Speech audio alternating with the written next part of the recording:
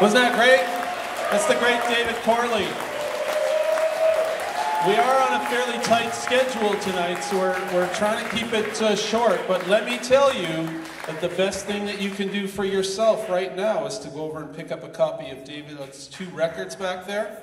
Um, in this day and age, people are buying less music, and that's completely foreign concept to me. That's the best way to support the artists. I know you can stream it at home or whatever, but the artists get a fraction of a fraction of a fraction of a cent when you do that.